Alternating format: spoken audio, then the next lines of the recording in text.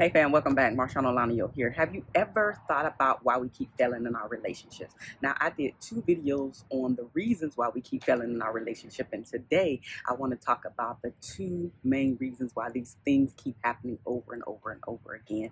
Uh, the first reason why we keep failing at our relationships and we keep going down the rabbit hole of repeating these behaviors over and over again is because number one, we are taking our partners and spouses for granted granted because we've been in our relationships for any length of time and after we gotten the woman after we gotten the guy all of a sudden we feel like we don't have to do the things that we did once to get the person, right? We just start to get into our everyday routines. We start to allow life to take over and to come in and to just dictate how we show up, dictate how we act, dictate how we react, and even respond at times, right? And so instead of us really being more intentional about, you know what, I need to show up in this way. I know that the world and life is coming in every day and is punching me in the face and giving it all to me. But when I go home, instead of us peeling off all of that junk before we go through the door, or even having some type of a routine before we go into the house, like listening to calming music in the car, meditating for a few minutes, listening to some gospel if that's your thing, but allowing yourself to decompress for a few minutes before you go inside with your family.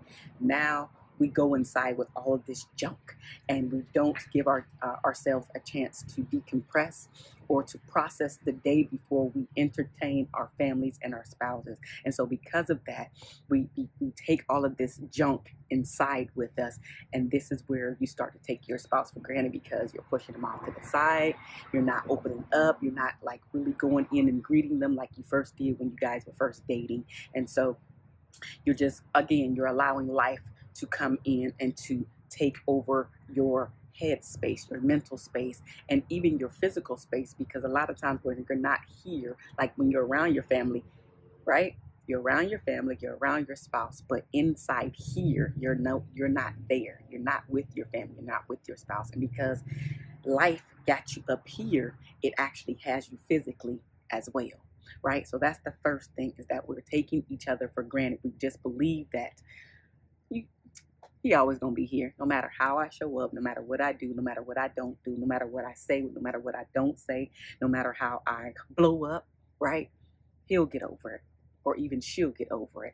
And the truth of the matter is, if that is repeated time and time again, why would I, as the person that's taking that, get over it, right? So we have to be able to separate the outside world from our inside world, which is our spouse and our children and our family. So we got to be able to separate them and stop taking them for granted and thinking that they're just going to be there just because you are you, right? I've done enough.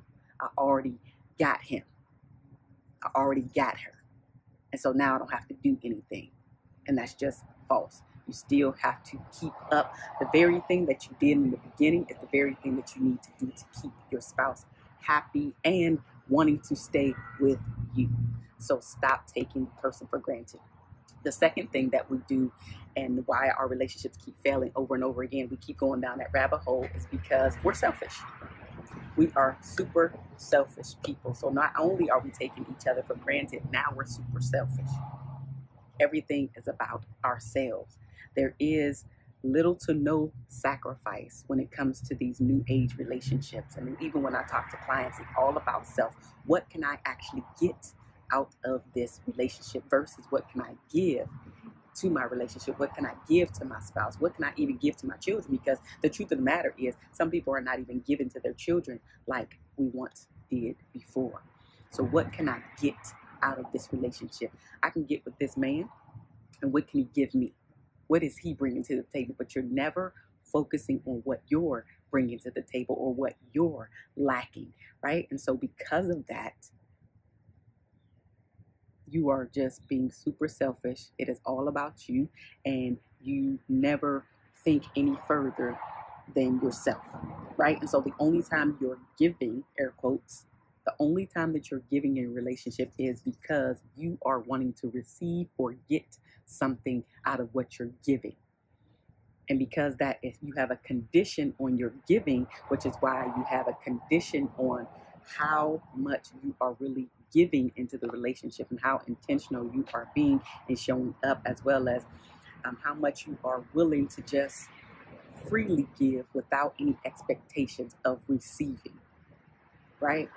Literally, the good book says that it's better to give than to receive, but not many people are following that rule anymore. It's all about self. That's where selfishness comes from. The self is in there, right? And so we're not thinking about the we any longer. We, as in the spouse, we, as in the family, we're thinking about the me. And when you're only thinking about me, there is no we. And a family, a house divided, again, as the good book says, a house divided always falls because you two are not on one accord. And there may be one person that's a give, give, give, give, give, and the other person is just a take, take, take, take, take. And anytime that occurs, that house will fall eventually. So these are the two reasons why we keep ending up on that hamster wheel and why the relationships just keep falling. So stop taking your spouse for granted and also stop being selfish.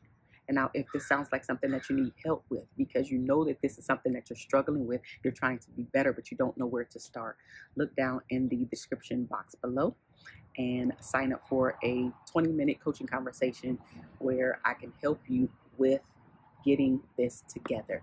All right. I love you guys, and there's nothing that you can do about it. Again, I am Marshaun Olaniyan.